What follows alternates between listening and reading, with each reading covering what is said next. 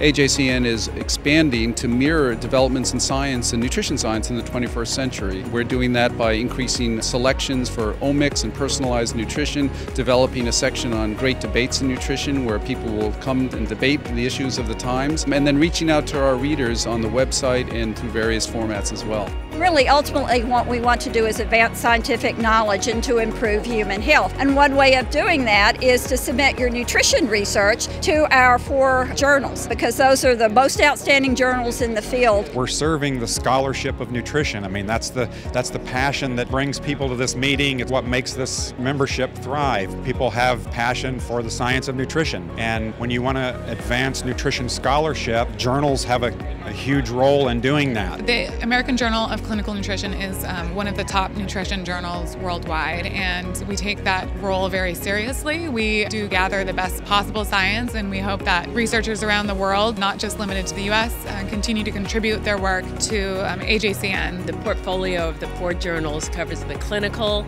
orientation, the more general biochemical orientation, the reviews, and the overall summary of information so that people can get that. And then our new journal, uh, CDN, our open access journal, has expanded our scope even more. So I think our portfolio now basically covers everything. If it's good science, if it's well done, um, come to us first thank you